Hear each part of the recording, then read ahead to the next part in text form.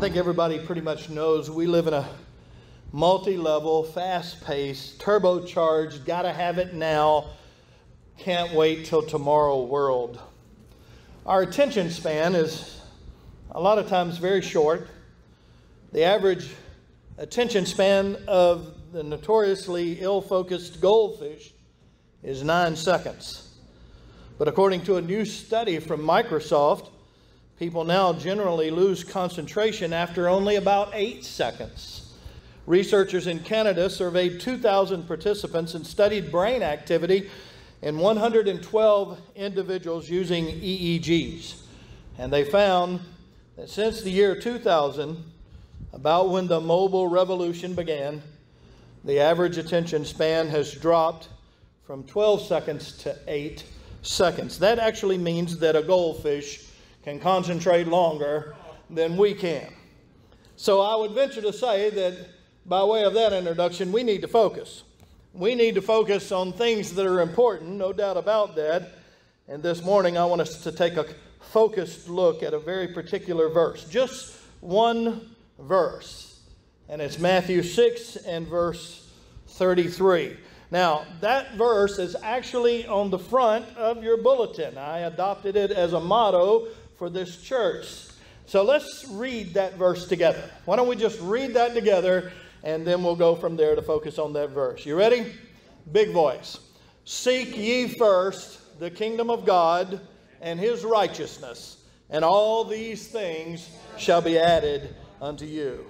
Now, we're going to break that passage down this morning, and we're going to break it down into manageable pieces to where we can actually take them and break it apart and see how each piece applies to us. The first piece of that verse is the principle, and that's seek. And all of us understand that. We understand what seeking means. I mean, even from the time that we're little bitty kids, we probably all played hide and go seek. You've probably been to Easter egg hunts and when you were a kid and, and maybe have watched as your kids or friends' kids that got out there and searching for Easter eggs. As a teenager, maybe you went on a scavenger hunt. We used to do those when I was a teenager. But we need to understand the concept of seeking. We understand what it is, we need to understand what it's not. Seeking is not walking around with your eyes closed. All right? It's not that. It's not occasionally making an effort to find something. And it's not randomly hoping that what you're looking for is going to fall right into your lap. Let me tell you what seeking is. According to Webster, seeking means to go in search of, to look for, to try to discover, to ask for, to try to acquire or gain, to make a search or an inquiry.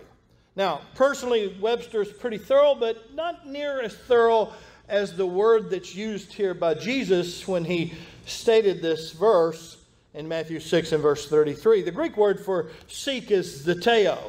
It means to seek in order to find, to seek a thing, to seek in order to find out by thinking, meditating, reasoning, to inquire into, to seek after, to seek for, to aim at, to strive after, to seek, to require, to demand, to crave, to demand something from someone.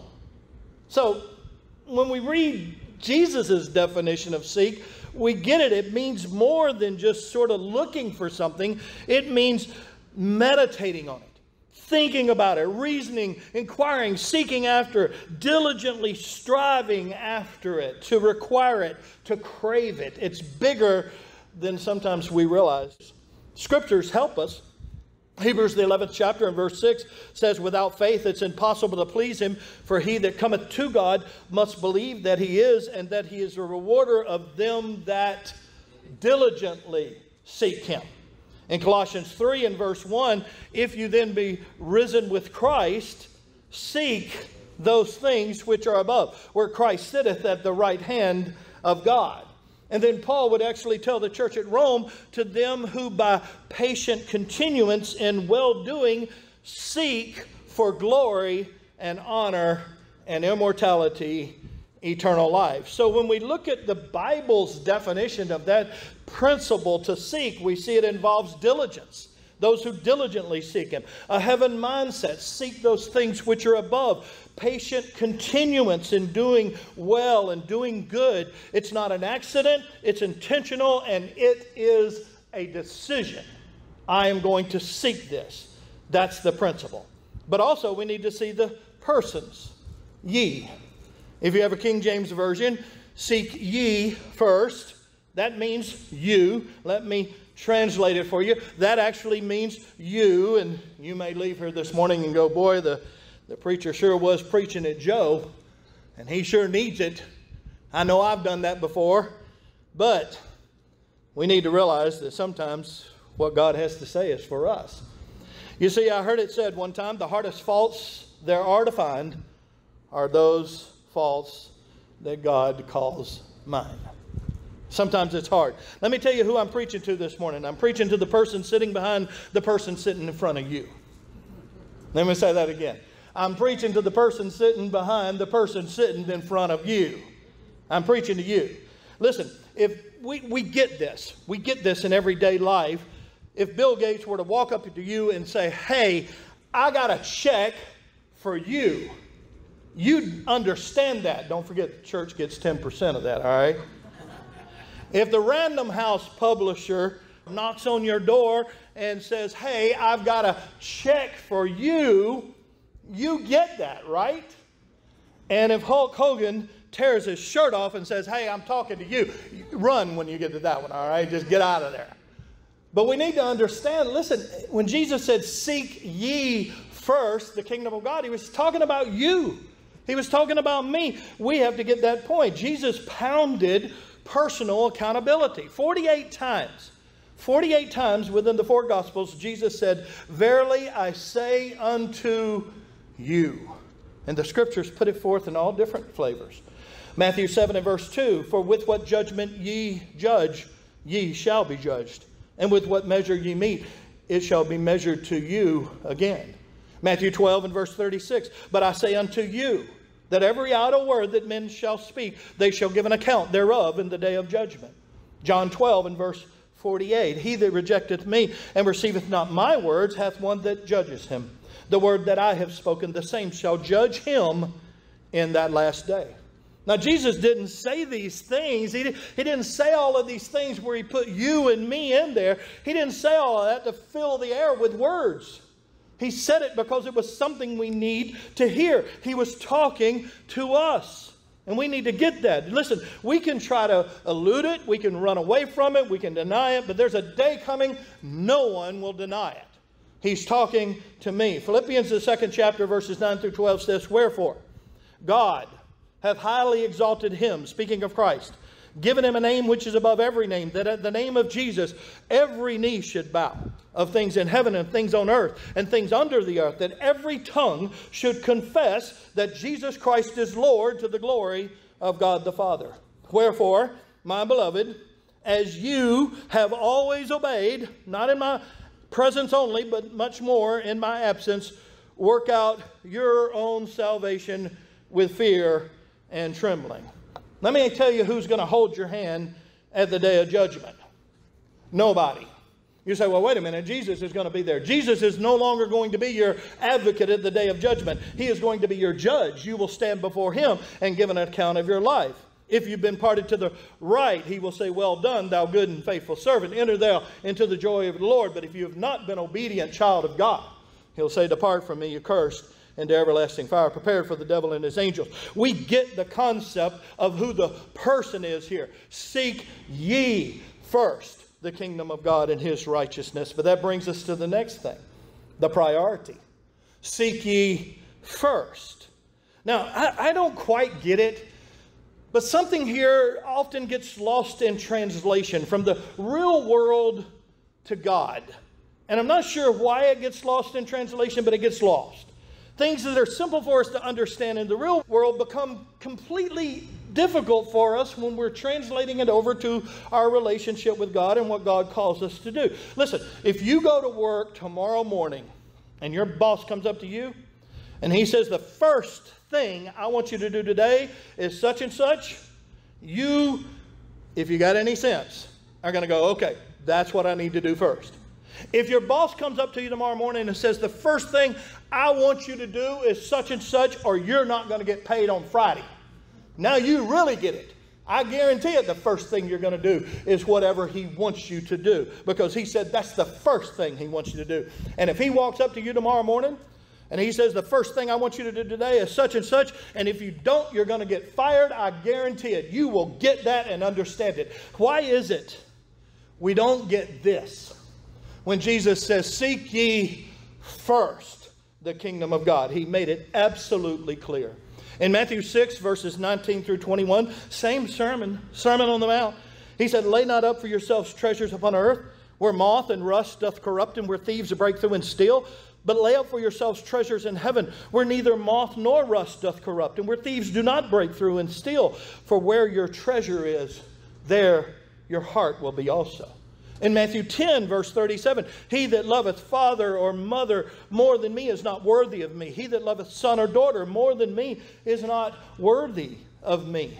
We, we get this seeking first because of some of the things that Jesus said. Seek the kingdom of God. Lay up for yourselves treasure. Love me above all others. And then in Matthew 5, again, same sermon, if your right eye offend you, pluck it out, cast it from thee. It's more profitable for thee that one of thy members should perish than thy whole body should be cast into hell. And if your right hand offend thee, cut it off and cast it from thee. It's profitable for thee that one of thy members perish and not that thy whole body be cast into hell. We get the priority aspects of Christ. We understand that. We get it. He made it absolutely clear. We need to understand that first means first. It doesn't mean second. It doesn't mean third, it doesn't mean a distant fourth. It means first. And when you get to judgment, let me tell you something.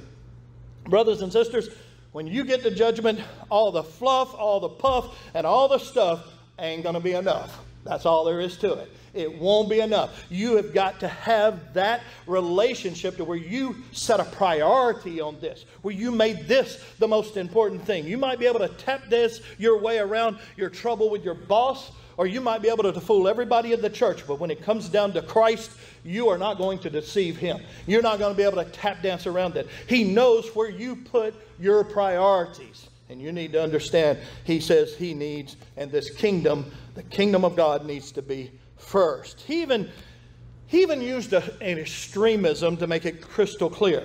I actually touched a little bit on this last week in our closing clip. But Luke 14, 25 through 27 says there were great multitudes with him. And he turned and said unto them, If any man come to me and hate not his father and mother and wife and children and brethren and sisters, yea, and his own life also, he cannot be my disciple. For whosoever doth not bear his cross and come after me cannot be my disciple. Now, that's an extremism. Jesus was using that term hate. Listen, Jesus is not an advocate of hate. But what he was actually saying here, this is a, a priority issue. What he was saying here is when it comes to me and the relationship that you have with me, your love for me has to be so much more so much more than your love for your husband or your wife or your father or your mother or your children or your sisters and your family, even your own life. Your love for me has to be so much higher that comparatively speaking, your love for everything else and everyone else looks like hate. That's an extremism. He wasn't advocating hate, but he was saying, This is where I need to be. Seek ye first the kingdom of God. So we get the principle, we get the people, we get the priority. We also need to see the place, and that's the kingdom of God. Now, as restorationists, those who just simply want to go back to the Bible, to just be Christians, nothing more, nothing less, nothing else, we have a leg up on denominations here because most denominations are still waiting for the kingdom of God to come. And I've dealt with this before, so I'm going to hit it real fast. But because the Jews rejected Jesus, a lot of denominations believe because the Jews rejected Jesus, God had to set up the church instead of the kingdom. He had to go to plan B, a call at the line of scrimmage, and set up the church instead of the kingdom. And the problem with that is one, it, it makes God not omniscient. He didn't know what was going to happen. It, the completion of the scheme of redemption falls subject to the will of men and then it just plain contradicts Scripture. It just plain contradicts Scripture. They miss the meaning of the church. See, we understand that the kingdom is the church. Jesus told Peter, I will give to you the keys to the kingdom of heaven. And within a couple of verses, he says, And upon this rock I will build my church. Peter, on the day of Pentecost, preached the first gospel sermon in the name of a risen Redeemer. And 3,000 people said, What must we do? He told them what they needed to do. He didn't tell them to pray a prayer, he didn't tell them to invite Jesus into their heart as their personal Lord and Savior. He told them, because they believed his message, he said, Repent and be baptized, every one of you, in the name of Jesus Christ for the remission of sins, and you shall receive the gift of the Holy Spirit. Peter opened the doors to the kingdom, and that day, according to the last verse of Acts, the second chapter, that day the Lord added to the church daily those who were being saved. 3,000 people became members, subjects in the kingdom of God. Jesus in Luke, the ninth chapter, in verse 27 said, I tell you the truth, there are some standing here which shall not taste of death till they see the kingdom of God come with power.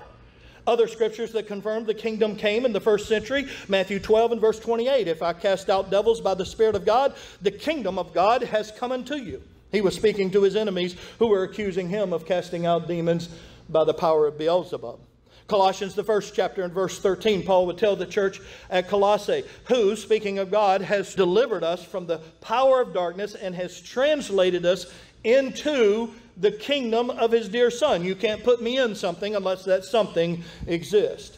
And the Hebrew writer would say in Hebrews 12 and verse 28, Therefore, since we are receiving a kingdom which cannot be shaken, let us have grace by which we may serve God acceptably with reverence and godly fear. The kingdom came. What's your point?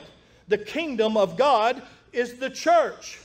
And Jesus said, Seek ye first the kingdom of God. Why is the church important? Because it's a building, because it has two by four. Lumber is really expensive now, so the value of real estate has to be going up. Why is the church important?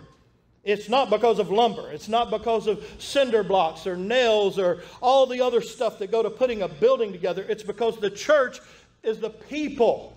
The church is the people. It actually comes from the Greek word ekklesia. It means the called out. Those who have been called out of the world and have become followers of Christ. Let me tell you something Jesus didn't die for buildings. And I know that because the Bible says in Acts 20 and verse 28, as Paul is speaking to the elders of the church of Ephesus, he said, Take heed, therefore, unto yourselves and to all the flock over which the Holy Spirit has made you overseers to feed the church of God, which he hath purchased with his own blood. Now, here's where we try the shoe on to see if it fits. Where does the church, the kingdom of God, fall in your priority system? Where's it at in your life? What place do you give that kingdom of God? And you say, Well, I'm still not convinced it's the church. I think he's talking about heaven. Fine, let's go that way too. How important is that to you? Where does it fall in your priority system? We need to understand the principle to seek the persons, you, the priority, first, the place, the kingdom of God, and then we come to the prize, his righteousness. And we need to understand the difference between imputed righteousness and attained righteousness. I know you understand this to a point because I've been preaching on it for a whole year since I've been here. I've preached on it adequately. But the scriptures say in Romans, the fourth chapter, and verse 3, what saith the scriptures? Abraham believed God, and it was counted, some versions say, imputed unto him for righteousness. So God actually imputes us by virtue of our faith are trusting Christ, obeying Christ, by virtue of that, He imputes to us righteousness. But there's a danger in preaching imputed righteousness. There's a danger because some people think, well, if God's going to impute it to me, then I don't really need to do it. I don't really need to strive for that. Wrong. Wrong. Righteousness is something that the Christian must strive for. In Acts, the 10th chapter, as Peter speaks to those Gentiles who are about to come into the kingdom of God, who are about to be a part of the church of the living God, Peter opened his mouth and said unto them, I perceive God is no respecter of persons, but in every nation he that feareth him and worketh righteousness is accepted with him.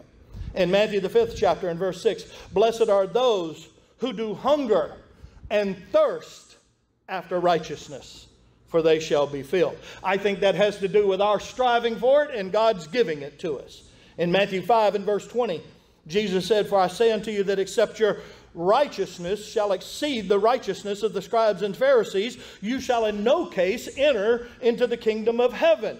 Let me tell you something. Righteousness is something God gives us, but striving for righteousness is something that we do. It's something that we engage in. And let me tell you, it's not easy.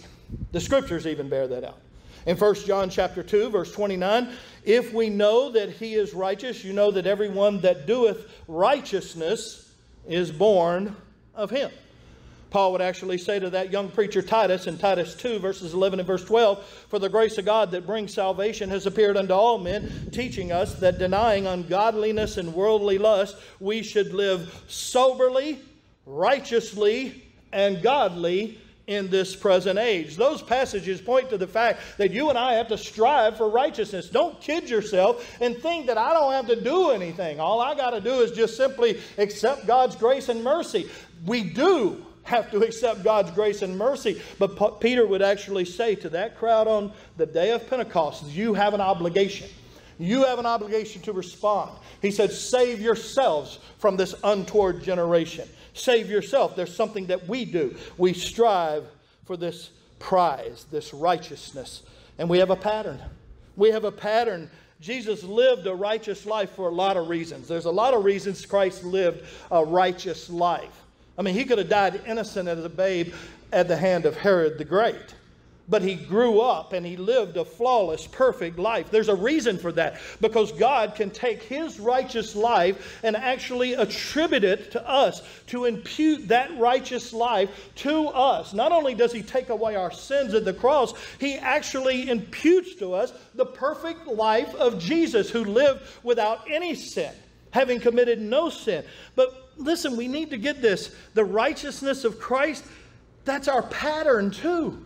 It's our pattern. Jesus would actually say right before, right before he goes to the cross, the night before he goes to the cross, in John 13, 15 through 17, he says, I've given you an example that you should do as I have done to you. Verily, verily, I say unto you, the servant is not greater than his Lord, neither is he that is sent greater than the one who sent him. If you know these things, Happy are you if you do them.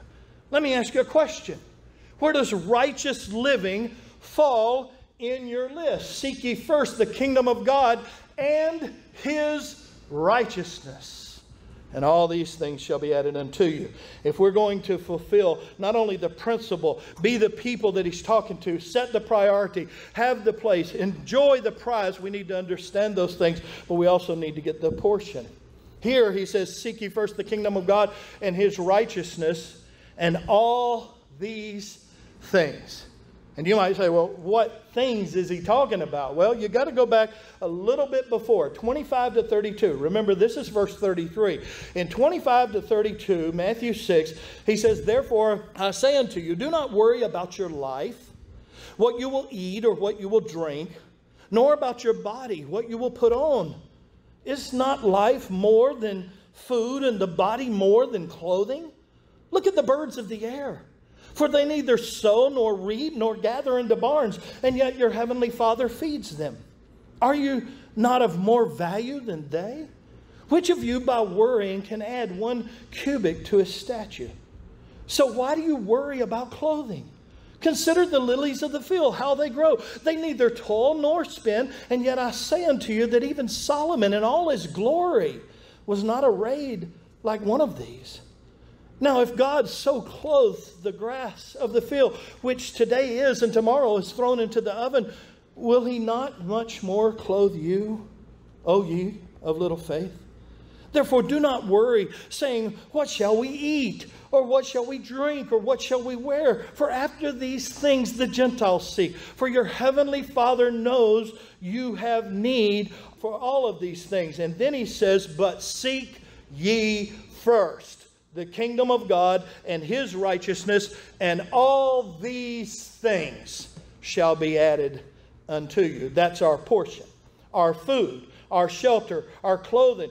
That's our portion, the necessities of life. Jesus was dealing with the necessities of life, and God will always come through there.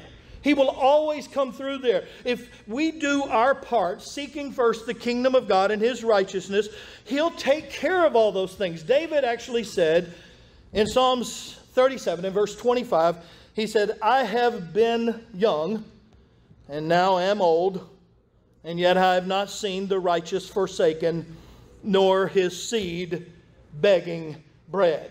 Now, I want you to think about that. David's saying, I once was young. I get it. I, David, David, I get it. I once was young and now I'm old but I've never seen his seed. I've never seen, listen, I've had people that needed help and the church was there to help them. They ran into a difficulty. I've seen people's houses burned down, and guess what? The church rallies around them and has car washes and takes care. They never are in need. Yes, a catastrophe, your house burned, uh, absolutely, but the church was there for them to help them, individuals. I've actually seen people pull the keys out and say, Here, you need a car and give them a car. But let me tell you what this isn't. This is not prosperity gospel. It's not about a mansion on a hill, a Rolls Royce in the garage, mink stilettos, and Gucci's in the closet. I don't know what all of that even actually is. I looked it up on the internet, all right? What's a Gucci? I don't even know what that is. Prosperity gospel, let me tell you what, it's rapidly becoming a Christless Christianity and a crossless Christianity. When Jesus said these things, he was talking about the necessities of life, not the fantasies of life. He was talking about that which you need, and we need to focus not so much on that prize or that portion that we receive from God, but the God who provides them. Matthew 6 33 is not about things, it's about the God of provision. God who hears and answers prayers. God who forgives as we forgive others. God who has heaven waiting on us when life is over here. God who clothes us and feeds us. The God in whom you exist. You, every breath in your lungs right now is because God lets you continue to live in this world so that you might do good and respond to Him. A God who became poor so that we could enjoy the riches of heaven. The things that's here in Matthew 6 and verse 33. That's our portion. The one who gives them to us, that's our provider. And then finally, in Matthew 6 and verse 33, we need to see the promise. These things shall be added unto you. Now, Matthew 6 33 is, has two major parts. Seek ye first the kingdom of God and his righteousness. That's the condition. And then the promise. All these things shall be added unto you. The promise stands head and shoulders above all the other promises that we can actually think about. Why? Because it's connected to the one who spoke it, to the one who told us about this, to the God that cannot lie. Now we understand that Jesus was the second person of the Godhead. John 1 and verse 1 says, In the beginning there was the Word, and the Word was with God, and the Word was God. And in verse 14 of John 1, it says, The Word was made flesh. So we get that Jesus was God, the second person of the Godhead, and God can't lie. Numbers 23 and verse 19 says, God is not a man that he should lie. Jesus, right before he goes to the cross in John 17 and verse 17, as he's praying to God the Father, says, Sanctify them through thy truth. Thy word is truth. And in Titus 1 and verse 2, he says, In hope of eternal life, which God, that cannot lie, promised before the world began. And the Hebrew writer will say in Hebrews, the sixth chapter, in verse 18, two immutable things it's impossible for God to lie that we might have strong consolation who have fled for refuge to lay hold upon the hope that is set before us. When I first became a Christian, I don't do it much anymore because I don't like getting them off, but I used to have bumper stickers on my bumper of my vehicle. And when I first became a Christian, I found a bumper sticker I really liked. The bumper sticker said, God said it, I believe it, and that settles it. I actually should have found a different bumper sticker that said it like this God said it, that settles it, and I believe it. Because when God says something, it's settled, It is absolutely settled. God is so righteous, His character is such, He cannot lie. He cannot speak an untruth. If He says something's going to happen, it's going to happen. Now, don't miss the conditional aspects of the promise. Listen, John 3 and verse 16 is conditional. Some people think, well, there's nothing you can do to be saved. John 3 and verse 16 says, Whosoever believes in him might not perish, but have everlasting life. There's a condition. Now, if you understand the word belief, you understand that it includes action. It's pisteuo. It means faith, trust, joined with obedience. It means repentance. It means confession. It means baptism. It means a faithful Christian life. It means all of those things. And you need to get that when you read the Gospel of John. But in Isaiah, the first chapter, verses 18 through 19, though your sins be like scarlet, they shall be white as snow. Though they are red like crimson, they shall be like wool. If you are willing and obedient, you will eat the best from the land. That's a conditional statement. We understand that. Isaiah 48 in verse 18, God would say to Israel, If only you had paid attention to my commands. Your peace would have been like a river, your righteousness like waves of the sea.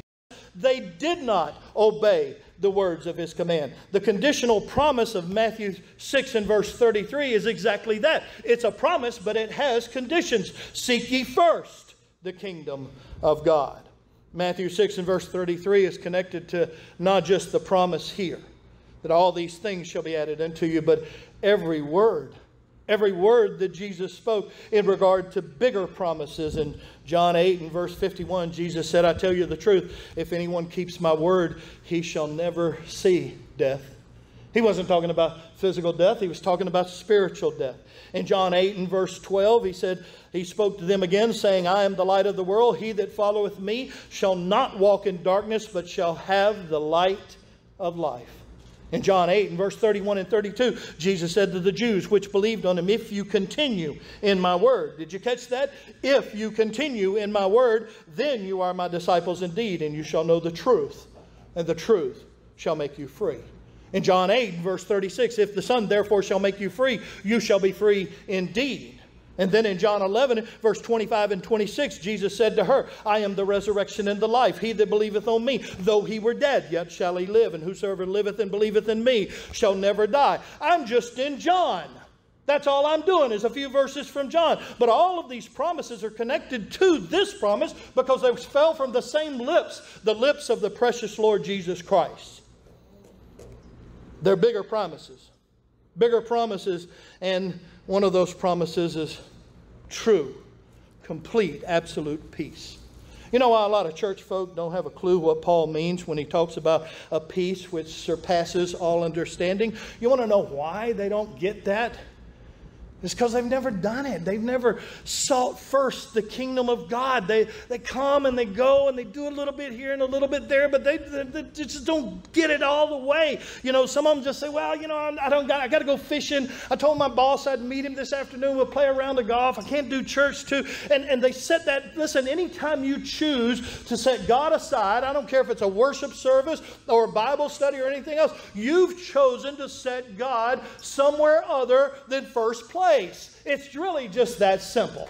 I'm sorry, it really is that simple. And if it gets on your toes, listen, got on my toes this morning at 4 o'clock when I was studying this, all right? I'm always getting on my toes. When I point three finger, one finger at you, I have three of them pointing back at me. So don't get mad. But listen, if you want that peace that surpasses all understanding, go all in. Get in this to where you lay your head down at night and you know, I'm not playing with this. I'm not playing footsies with God. I'm not trying to figure out the loophole so I can get around, get under, get over, do something to where I can get to heaven without doing what God wants me to do.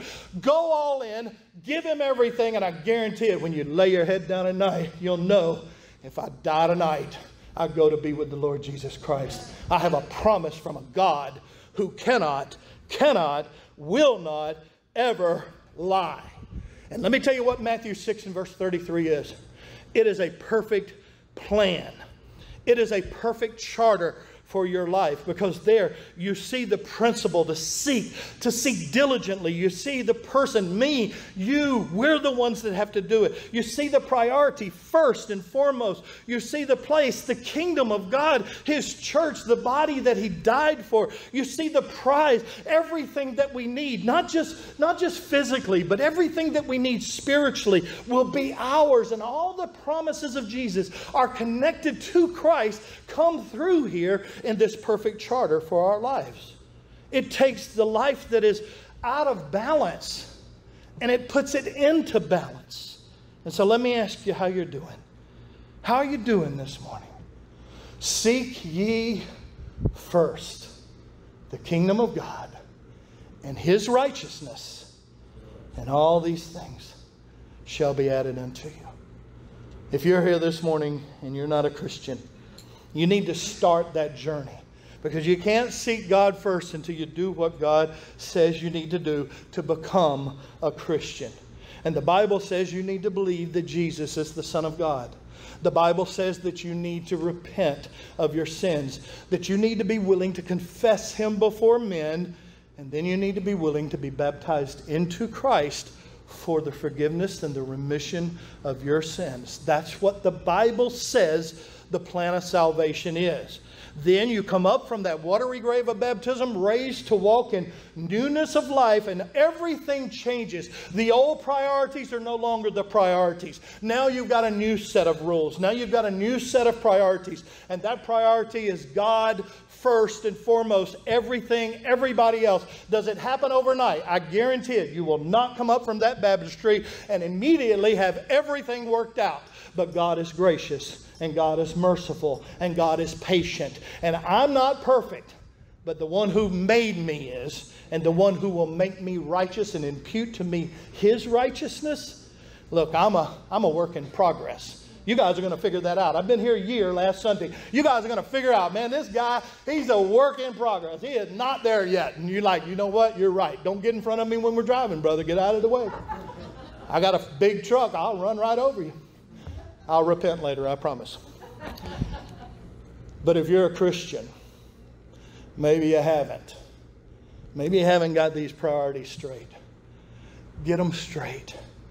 Because I guarantee you, I look around, everyone here, pretty much, the kids are in another room, but everyone here, 40 years, you're probably going to be on the other side.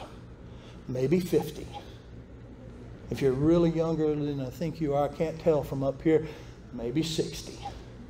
But you will leave and you will meet him face to face. And the only thing that's going to matter to you in that very, very real reality, the other side, the only thing that's going to matter to you is where did I put the Lord Jesus Christ? Where did his church fit into my life? That's all that's going to matter. It's about priority. And first and foremost, the priority to love him with all your heart, with all your soul, with all your mind, and with all your strength. Those are priorities. And that's all that's going to matter. Come, now is the time.